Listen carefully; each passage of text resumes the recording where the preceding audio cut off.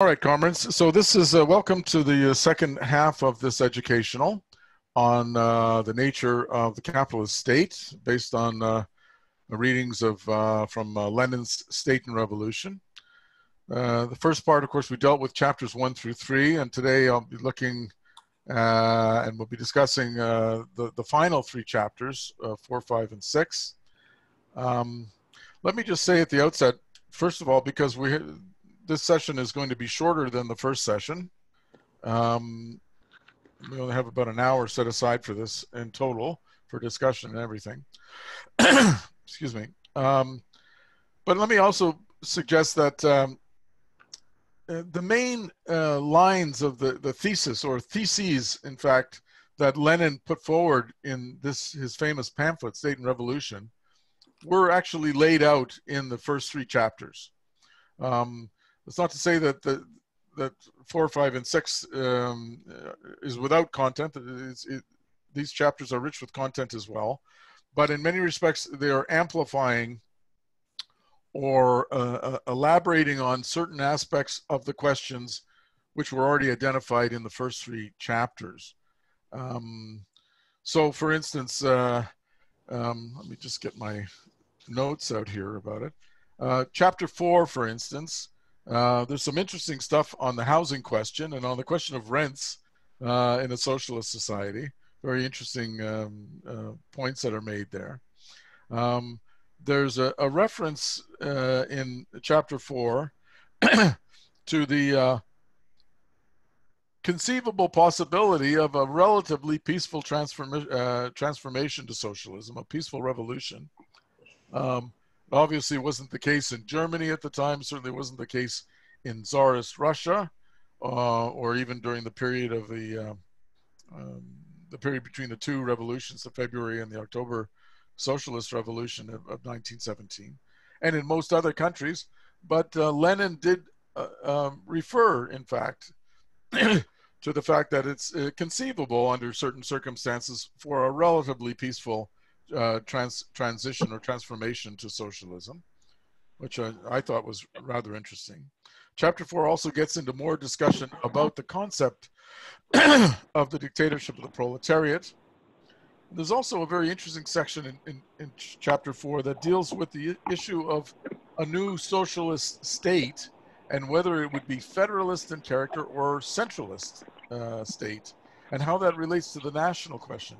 It's a very interesting uh, section of this chapter because what Lenin is addressing, of course, and uh, even though he doesn't use examples from Russia, because State and Revolution was written virtually two months before the October Revolution, uh, and things were moving very quickly towards the question of the, the, the victory of working class power in Soviet Russia, uh, and then what to do once that power was achieved to establish a new state, a proletarian state, and what would be the character of that state, uh, became a very concrete issue for them because obviously in Tsarist Russia, which was called the prison house of nations, there were uh, and and um, continued to be under the Soviet Union uh, um, many uh, nations, many national groupings and so in the Soviet structure, for instance, there were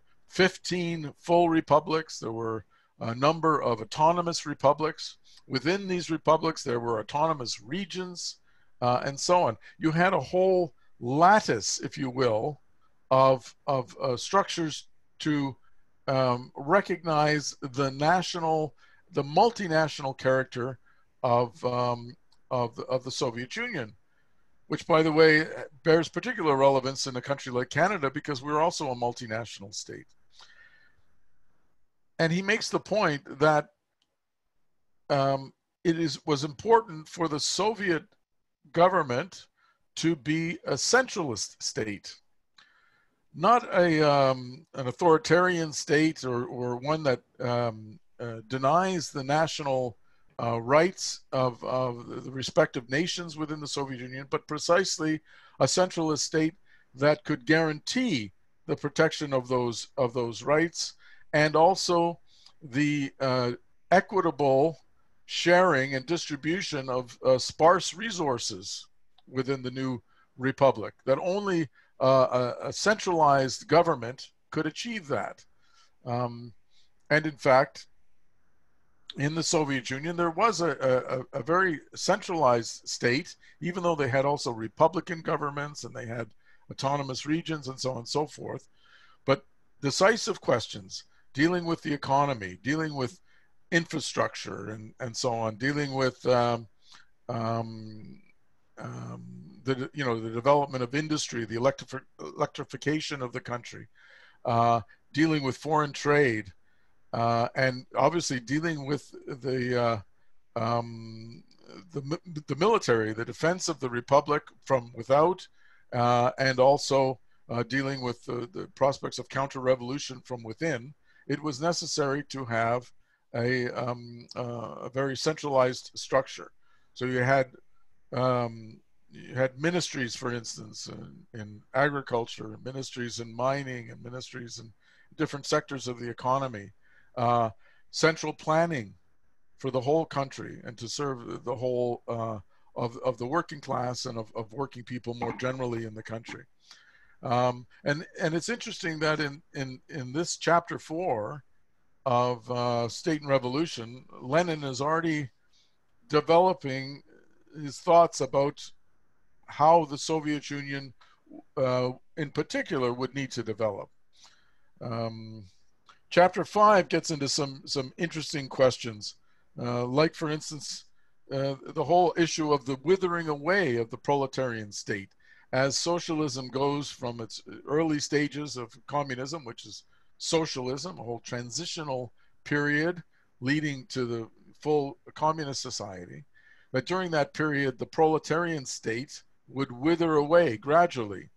Um, but he makes the point, rather interesting point, that it's likely to be a, a, lengthy process. The more he looked at it, he realized that this is something that isn't going to be able to be done overnight, obviously. That was the position, of course, that the anarchists uh, uh, advocated, just abolishing the state and, and, and doing away with it overnight.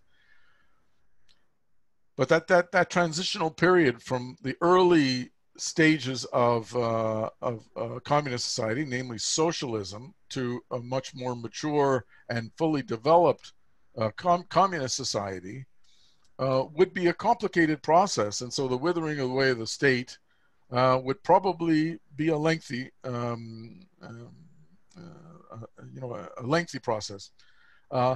And and here also in chapter five, he gets in not only to the question of the state as the state, in the in the sense of administering, administrating um, education and uh, and the police and the courts and all this sort of stuff, but also the economic aspect of socialism moving to communism. In other words, the development of um, higher levels of productivity to uh, be able to um, uh, uh, achieve a situation where want and despair, unemployment, poverty, uh, and miseration are eliminated, and where people will have a different attitude towards their own labor so that they will be uh, they would still be working, but they would be working not to avoid uh, starvation or just to put a roof over the head, but they would be working because they're making a conscious contribution uh, to society in a field that they wanted to work in. So they weren't forced to, to take whatever job was available, uh, as is the case in a capitalist labor market. Um, people scurrying around, even getting degrees, and then and then end up delivering pizza and so on and so forth. But that, uh, in, in, fact, uh, there would be the socioeconomic basis, the productive basis in a society, so that people's attitudes towards even their own labor would be understood differently than it is in a capitalist um, uh, labor market, which is driven by the law of value. In other words, you know your wages uh, you you get paid for your your time on the job which isn't commensurate with the value that you produce and so on and so forth but it's, it's rather kind of uh, interesting the way he approaches that in chapter five um, and uh, then he of course gets into a, a, long discussion in chapter five around bourgeois democracy uh, and and what uh, in a way what socialist democracy would start to look at. And of course, throughout chapters four, five, and six as well, there is the polemic not only with the opportunists but also with the anarchists and and uh, uh, their respective attitudes towards the state. So there's lots of pearls in in the in the final three uh, chapters, and I just picked out a few of them, which I thought were of particular interest. First of all, it talks about planning under monopoly capitalism. This is a very interesting quote. I'm not going to read it all out, but basically what he's getting at is this that there is this attitude, and by the way, it exists today as well, that under monopoly capitalism, as opposed to the earlier types of capitalism, um, these big trusts, these big monopolies, these big transnationals do extensive planning. We know that they do that. They have just in time uh, uh, production uh, systems uh, that are all automated and uh, operate on the basis of algorithms and so on and so forth. Um, they plan not only on a national basis, but on an international basis in terms of what product lines that they develop and so on and so forth. And he and he what he does here is he, he says it's it's true that is true, but it is not state socialism. That the trusts, of course, never provided, do not now provide, and cannot provide complete planning. So they do planning, but it's still in the basis of the of the anarchy of the capitalist market. But however much they do plan, however, however much the capitalist magnates calculate in advance the volume of production on a national or even international scale, and however much uh, they systematically regulate it, we're we are still uh, we still remain under capitalism. At its new stage, it's true, but still capitalism without a doubt. It's a rather interesting uh, uh, observation and a very astute observation because uh, you know, even today you run into people who have this view that, uh, well, um, you know, what's the difference between state capitalism and state socialism? Well, really, it's a question of which class is in command of society, right? Um, he has some interesting observations about bourgeois democracy and the dictatorship of the proletariat. We'll get around to the concept of the dictatorship of the proletariat in a moment. But here he writes that uh, Engels realized here that in a particularly striking form, the fundamental idea which runs through all of Marx's work, namely that the democratic republic is the nearest approach to the dictatorship of the proletariat. For such a republic, without in the least abolishing the rule of capital, and therefore the oppression of the masses in the class struggle, in, inevitably leads to such an extension, development, unfolding, and intensification of the struggle that as soon as it becomes possible to meet the fundamental interests of the oppressed masses, this possibility is realized inevitably and solely through the dictatorship of the, of the proletariat. In other words, what he's saying is, is that the, de the development of uh, bourgeois democratic norms under capitalism in a certain way helps to create, create the preconditions for the transition, a revolutionary transition, to the dictatorship of, of the proletariat. It's rather an interesting uh, um, uh, thought. Um, goes on to talk about bourgeois democracy and the proletarian revolution, and and uh, it says two more remarks, but I'm just quoting the, the first remarks from Engels. Engels' statement that in a democratic republic, no less than in a monarchy, the state remains the machine of the oppression of one class by another. And of course, Engels did say that, regardless of whether it's a um, it's a feudal state or it's a it's an authoritarian state, a fascist state, a democratic bourgeois democratic state. They they all remain machines of the oppression of one class by another. Then he goes on to point out that Engels by no means suggested or that this signifies that the form of the oppression makes no difference to the working class, to the proletariat, as some anarchists teach a wider, freer, and more open form of the class struggle and of class oppression vastly assists the working class in its struggle for the abolition abolition of classes in general. In other words, what he's saying here is that as Marxists, we're not indifferent to the character of the state. But even though we have a, a, um, a clear theoretical and political understanding of the bourgeois state, a bourgeois democratic state is a hell of a lot better than a fascist state and creates better conditions uh, for for the advancement of the class struggle and ultimately for the for the victory of uh, of socialism. It's a, it's important here because you know as as as uh, Lenin says in this uh, in this quote, uh, anarchists say you know the state is the state is the state. Well, not so. We need to be very concrete and look at the character of the state, and we need, on that basis, to fight for reforms even of the capitalist state. Just like, for instance, our party fights for proportional representation. We know that proportional representation isn't all of a sudden going to solve or remove um, the inherently distorted character of bourgeois democracy. Uh, it will bring a little bit closer uh, reflection of the of the diversity of views within society than the first past the post system but it's not a panacea. It's not a solution. It doesn't mean, however, that because uh, whether it has proportional representation or or not proportional representation, that it's still a capitalist state. What difference does it make? And here Lenin's saying, no, it does make a difference, and we're not indifferent, and should not be indifferent to the type of uh, of, of, of capitalist state that exists, even while we fight ultimately for the seizure of power and ultimately for the crushing, for the dismantling of the of the bourgeois state and the construction of a new proletarian state in its place. Here he talks about uh, uh, he's quoting again from from uh, Marx about this transitional period between capitalism and communism. And he quotes Marx say, between capitalist and communist society lies a period of revolutionary transformation of one into the other.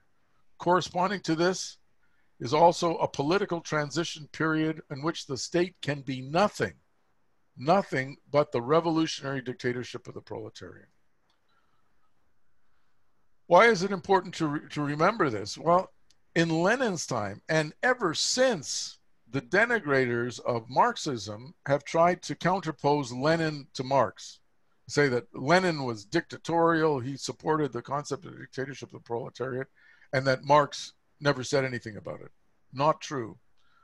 Marx um, uh, understood, particularly not at the time of writing the Communist Manifesto in 1848, but particularly subsequent to that in 52, uh, when there was a was an upsurge in the revolutionary movement in in France, and especially after the communes the Paris Commune in, in 1871 had a very clear understanding of, of, of this and, and was a, an advocate of uh, not just saying that that was an option, a revolutionary dictatorship of the proletariat, but saying that it could be nothing but, that whole transition period could be nothing but a revolutionary dictatorship of the proletariat. Here's another interesting quote that I have culled from these chapters uh, on the limitations of bourgeois democracy. I, I, this is this is wonderful. I like this. I'm going to read it in full. In a capitalist society, providing it develops under the most favorable conditions, we have a more or less complete democracy in the democratic republic. But this democracy is always hemmed in by the narrow limits set by capitalist exploitation, and consequently always remains, in effect, a democracy for the minority, only for the property classes, only for the rich. Freedom in capitalist society always remains about the same as it was in the ancient Greek republics freedom for the slave owners. Owing to the conditions of capitalist exploitation, the modern wage slaves are so crushed by want and poverty that they can't be bothered with democracy, cannot be bothered with politics in the ordinary peaceful course of events. The majority of the population is debarred from participation in public and political life. And he goes on here, just to continue democracy for the insignificant minority, democracy for the rich, that is the democracy of capitalist society. If we look more closely into the machinery of capitalist democracy, we see everywhere in the petty or supposedly petty details of the of suffrage, residential qualifications, exclusions of women.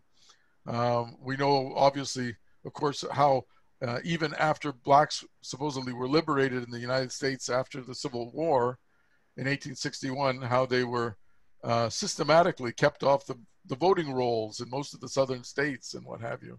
using technicalities and whatnot.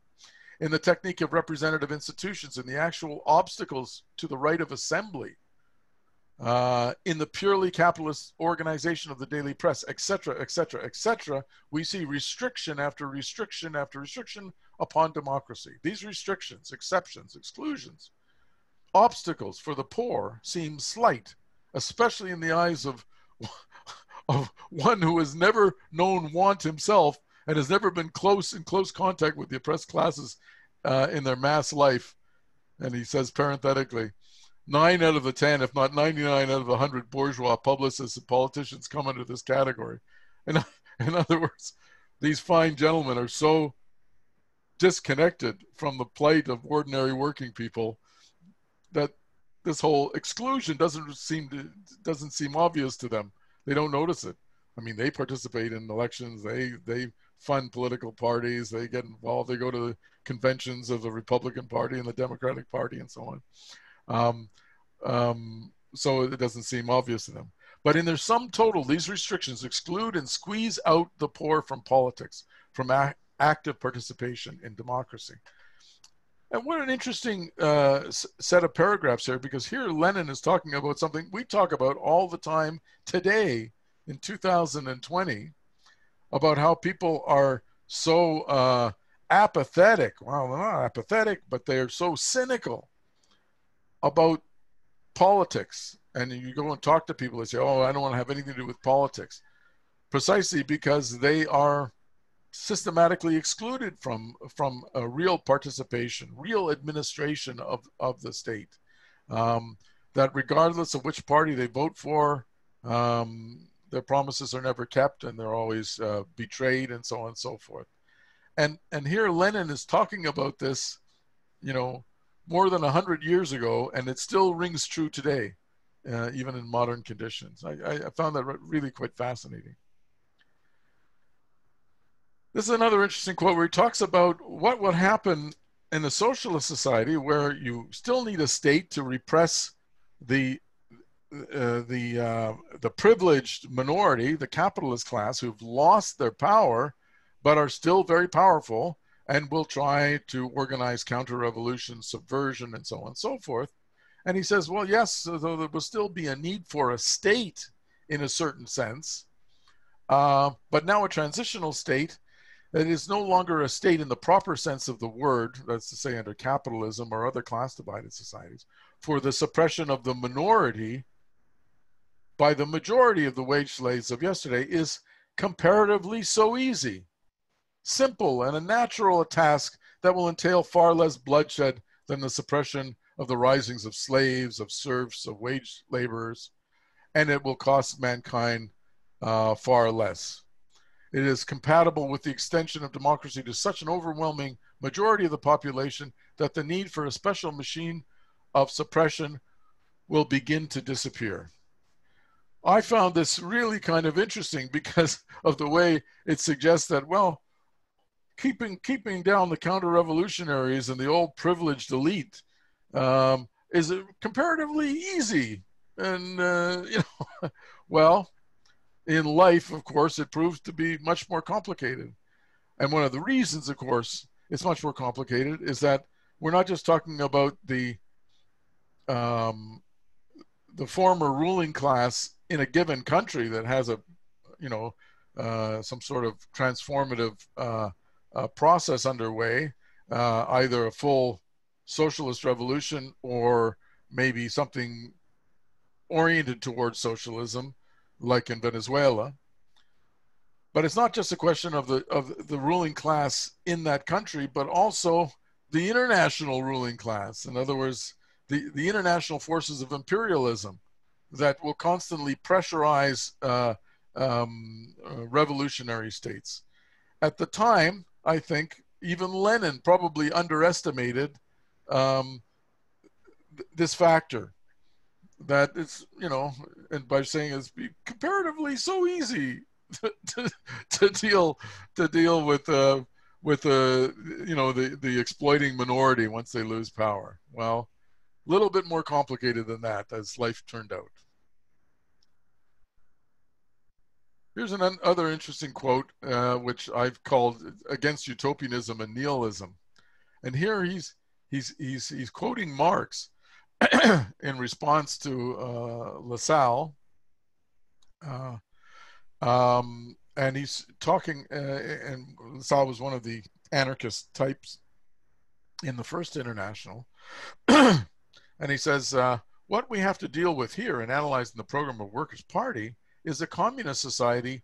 Not as it developed on its own foundations, but on the contrary, just as it emerges from capitalist society, which is thus in every respect, economically, morally, and intellectually, still stamped with the birthmarks of the old society from whose womb it comes. Very concise but, but important statement. You know, um, if you are a utopian, and you just dream of a, of a different type of society, uh, and forget that whatever comes after the revolution will be built on all of the ashes of all of the um, um, the, the, remains of a capitalist society, and I'm not meaning just economically, structurally, in terms of uh, um, the state apparatus and so on and so forth, but just the weight of tradition, the weight of, of uh, the ideological weight of hundreds and hundreds and hundreds of years of uh, of, of domination, so that that socialism is going to still be stamped with the birthmarks of the old society from whose womb it comes. It's a very important concept that we should never lose sight of, and that, of course, is what makes it so uh, uh, complicated. Not a simple process of going from capitalism to socialism and, and to and to communism, um, because all, um, because you know you're going from thesis to antithesis to synthesis. Um, in a philosophical sense, we could talk about it in those terms, but the reality is that is a very complicated thing because a lot of the contradictions of the old society, which by the way include things like um, um, uh, idealism, the impact of organized religion, uh, racism, sexism, and patriarchy, all of these things that were part of the birthmarks of the old society will need to be contended with in developing uh, uh, the new uh, socialist society. Uh, so it's, it's, it seems simple, but it's really quite an important concept. Here he talks about the economic uh, basis of the withering away of the state under socialism. Uh, and uh, he says that uh, part of it has to do with the fact that it's possible for the productive forces to develop at a tremendous extent. And we see how incredibly capitalism is already retarding this process when we see how much progress could be achieved on the basis of the level of technique already attained. We're entitled to say that the full, with the fullest confidence that the expropriation of the capitalists will inevitably result in an enormous development of the productive forces of human society.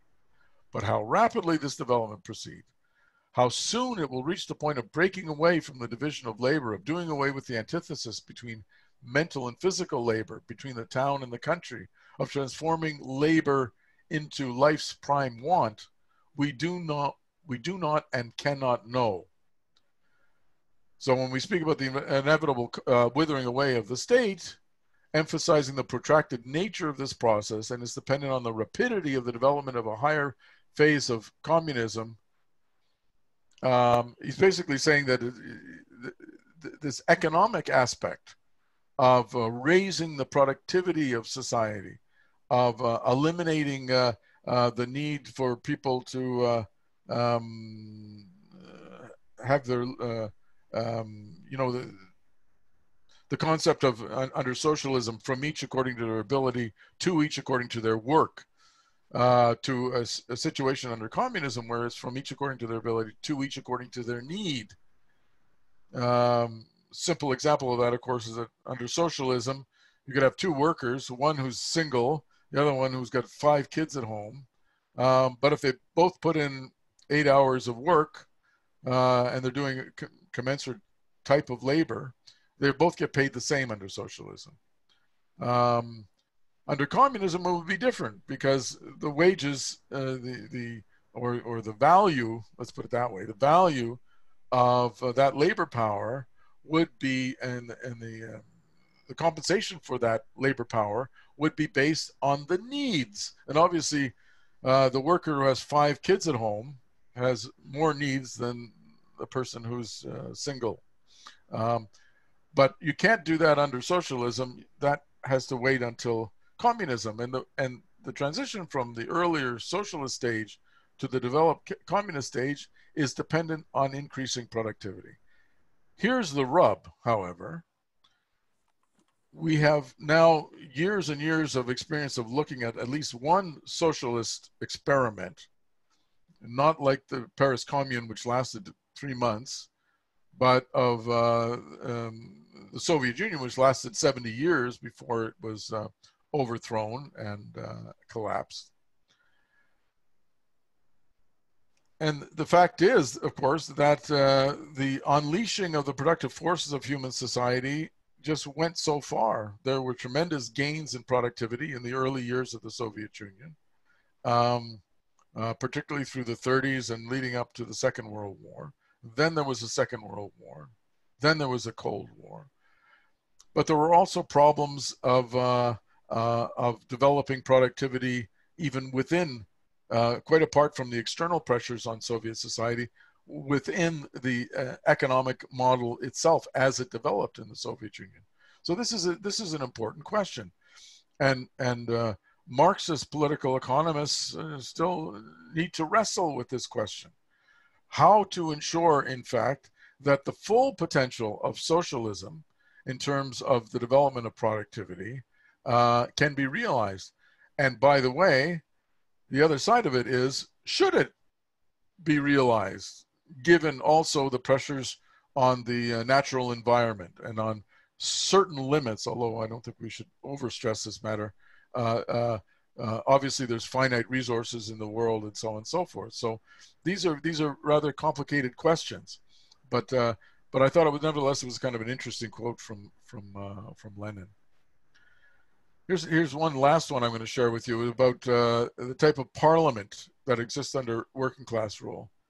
You know, he says, no, we're not going to get rid of parliaments, but the character of parliaments will change.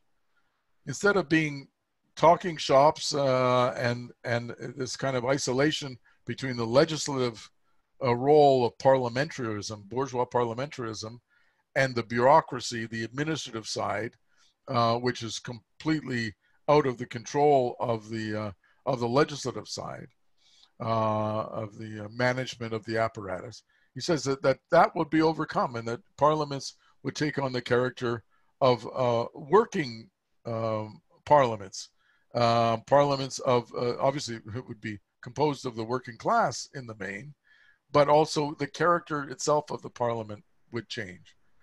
Uh, and the way to ensure that uh, would be the various steps we talked about last time about the the, the, the ability to uh, that, uh, that that bureaucrats, for instance, uh, uh, would be uh, only by election, they'd be subject to recall, that they would be paid the same as an ordinary working person, and and the introduction of the concept of control by all, so that the bureaucrats, the power of the bureaucrats would essentially be removed.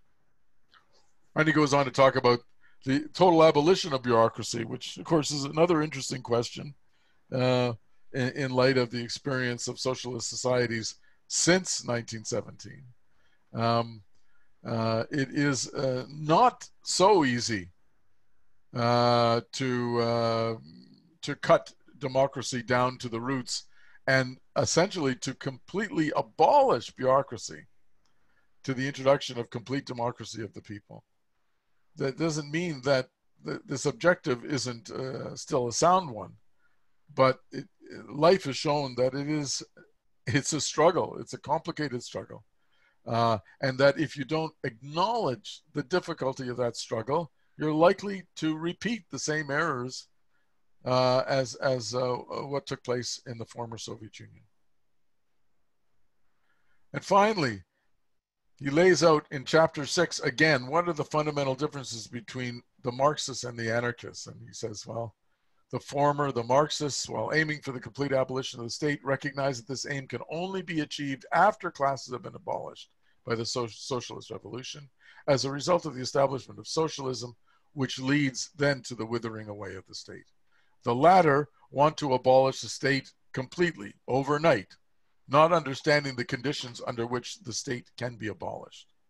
It's a very obvious uh, difference between the Marxists and the uh, anarchist approach to the state. Secondly, the former recognizes that the, that the working class, that after the working class has won political power, it must completely destroy the old state machine and replace it with a new one, consisting of the organization of armed workers in the, in the type of the, uh, the form of the commune. The latter, while insisting on the destruction of the state machine, have a very vague idea of what the proletariat will put in its place and how it will use its revolutionary power. And the third big difference, of course, is the former demand that the proletariat be trained for revolution by utilizing the present state, and the anarchists reject this. And here he's saying that, you know, part of the training of the working class is is also engaging in the current bourgeois state. It's not a, necessarily a bad thing. It's not a bad thing to have communists elected to parliament and to use parliament as a rostrum to fight for the for the interests of the, of the working class. We shouldn't reject that uh, in in a way that is part of the training of revolutionaries. Whereas the anarchists reject all of this and say, no, the hell with elections, the hell with a political struggle, and and so on.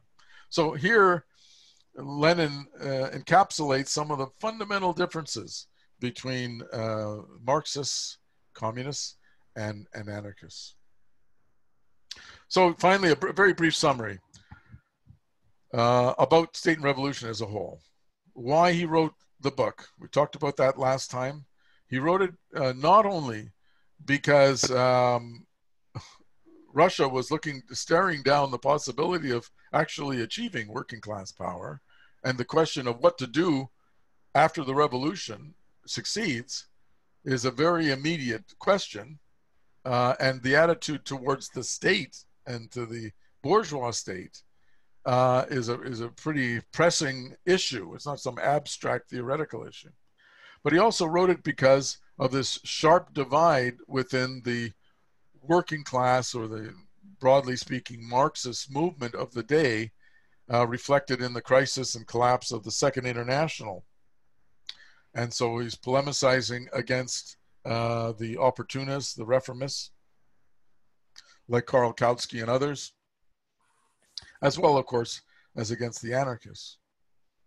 Whoops. So the main points, the state is an instrument of domination, of class domination.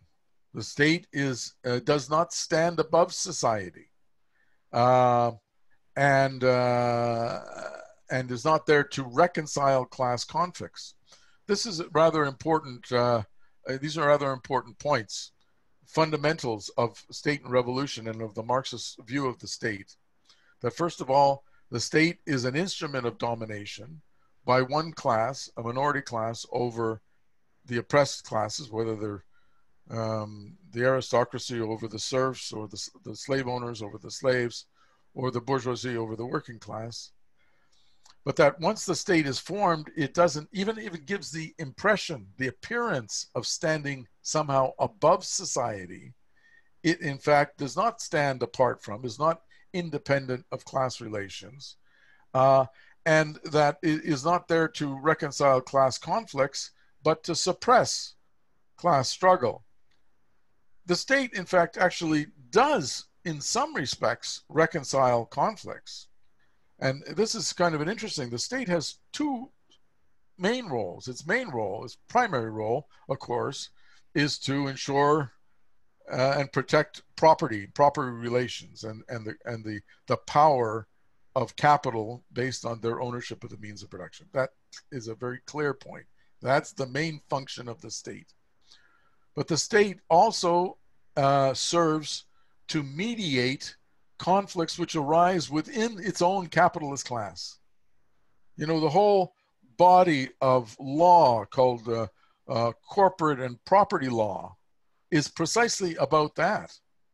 It's precisely to uh, have a, a, a, a, system to mediate between um, disputes that arise amongst the, the, the thieves, amongst the robber barons themselves, and to keep that in in uh, in, in under uh, some sort of control, some sort of regulation, so that the capitalist class does not tear itself apart. So, in other words, the state serves the art overarching interests of the capitalist class as a whole, uh, even sometimes by disciplining even some of its own members to stay in line. Um, you know, and so intellectual property law, all of these things are are, are part of uh, of uh, not only safeguarding the capitalist class as a whole, but mediating disputes within their own class. That after achieving state power, the working class cannot simply, therefore, inherit the cap- inherit the capitalist state and use it for its own purposes. This is a pretty basic question, folks, right? And it's one of the main theses that, that Lenin is arguing based on Marx and Engels' own writings that uh, because of the nature of uh, the bourgeois state, when the working class gains power, it can't simply uh, transform the capitalist state, reform it, uh, prettify it, and so on, and use it for the, the interests of uh, of uh, working people of the oppressed. It has instead uh, to crush, to dismantle the bourgeois state, and to create a proletarian state in its place. And that the new proletarian state can be nothing other than the dictatorship of the proletariat. In other words, the dictatorship of the majority over the minority. All states hitherto have been states of uh, the dictatorship of the minority over the majority, the slave owners over the masses of the slaves, the aristocracy over the masses of the serfs, and obviously the bourgeoisie over the masses of the working class. And that this new proletarian state, that's what will wither away as socialism transitions to a more fully mature communist society. And how long that will take, well, it's still an open question.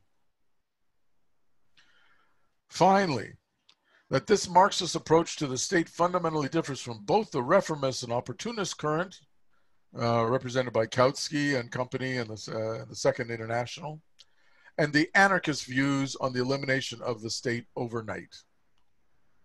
So this pamphlet is polemical precisely because Lenin is taking on both the reformists, the opportunists on one hand, and the anarchists on the other, and and clarifying how communists, how Marxists see the question of um, of uh, the state, uh, the capitalist state, the, the proletarian state, and its and its uh, um, its role, its transitional role in the transition from socialism to communism. So how finally does this all apply today? Well, there's probably lots of applications, but I just pulled out a few. First of all, our conception of, of the capitalist state today and its role in the uh, global system of imperialism. You know, there are lots of people. Um, you, you don't hear as much these days, but it was prevalent back around 2000, around the time of the Battle of Seattle and the big campaigns against uh, globalization and what have you.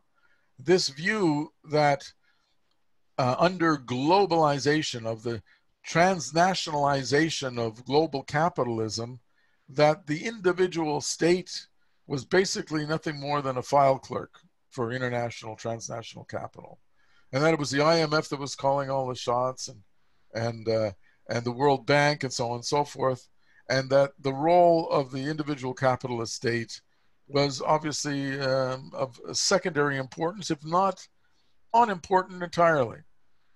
This, of course, was um, uh, promoted and or seized upon, particularly by our friends uh, of the Trotskyist persuasion, who argued that, uh, well, this means uh, that uh, we were right all along, that world revolution is the answer, that there needs to be a, a worldwide uh, conflagration against uh, capitalism uh, and the worldwide victory. And anything short of that is bound to collapse and so on and so forth.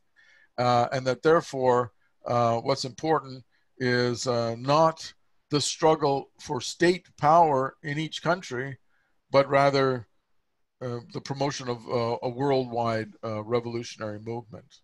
Um, and uh, and uh, you know, as as as communists, as Leninists, we dispute that. And life has shown, in fact, that the capitalist state is more important now to the global system of imperialism than perhaps it ever was.